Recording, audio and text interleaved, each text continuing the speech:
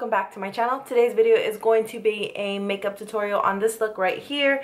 I wanted to create something using my Tarte Pro and I missed this color a lot. It's handwritten by MAC, so I wanted to use that. That's basically why I wanted to do this tutorial. I just wanted to use this.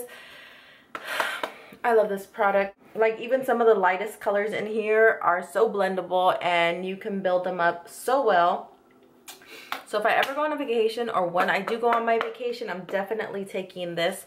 But yeah, I just wanted to basically catch up with you guys and film a makeup tutorial because I haven't filmed something in for so long. And I just wanted to film makeup because I kind of felt like I fell off of the bandwagon and I just forgot how to blend. I just forgot everything. So I just wanted to recreate a look. So thank you guys so much for watching. If you guys um, enjoyed this video, go ahead and give it a thumbs up and I will see you guys all in my next video. Bye guys. Okay, so starting off, I'm just going to use my MAC Studio Fix Fluid in NC30. I did not realize how pale I was, but yes, it is winter time, so you do get a little bit paler. So I'm just going to use this. I already have moisturized my face with my Pond's lotion. Next, moving on, I am using another MAC product, and this is an NW20, and I'm going to use this concealer just to highlight. I always dab it on first with my fingers and then kind of blend it out with the brush. I'm just going back and forth so I get no creases.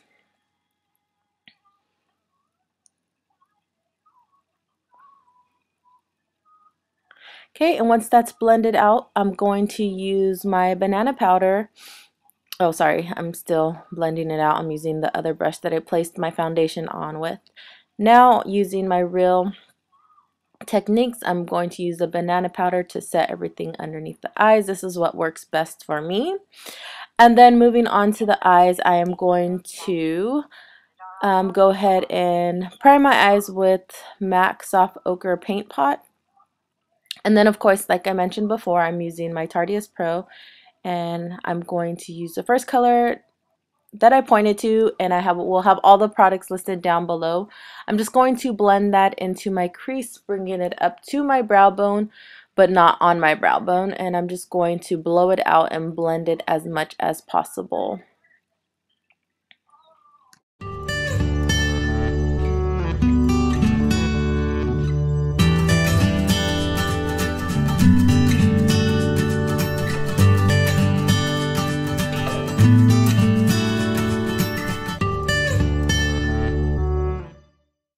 Okay, now that Innocent is blended out, I'm going to grab Innis, oh, sorry, Profesh, and it's just a darker gray, but it's really light.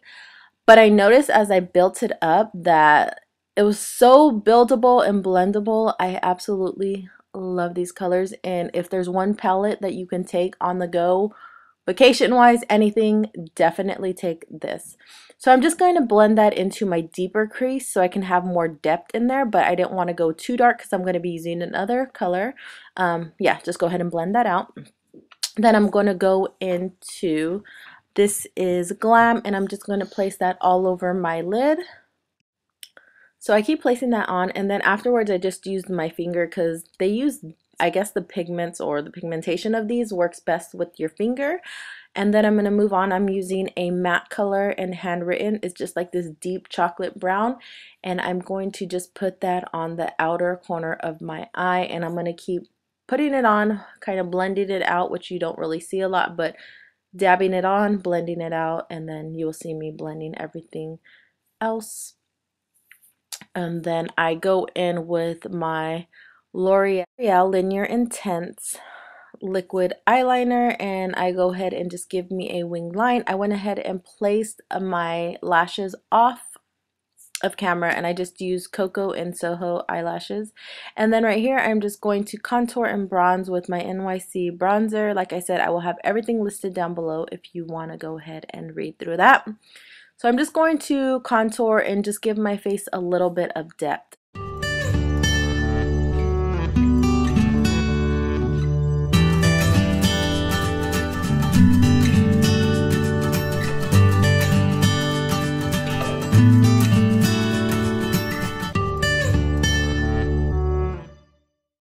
Once I am all done and set with contouring, I am going to move on to blush. I didn't use any highlighter today because this blush kind of has like a sheen in it and I absolutely love it. This is MAC style blush.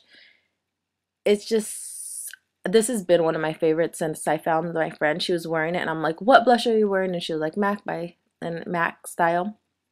So yeah, okay, sorry, moving on. I am using Mod and Drama mixed together and I'm just going to place that on my lower lash line and just blend it out so it's kind of like smoky and then I do the same thing on the other eye and then I move on to my lower lashes. I'm just going to place my L'Oreal Voluminous Mascara as always and then onto the lips. I do have two lip options. This one is the first one. This is Kat Von D and Bow and Arrow. I just place it over my chapstick, which I really, really like. And then, of course, I'm using my setting spray by Gerard Cosmetics.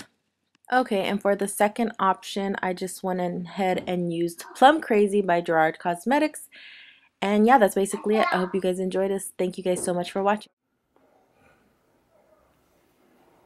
You'll take a picture? Hmm. This is video. Is that a picture? Look at lazy too.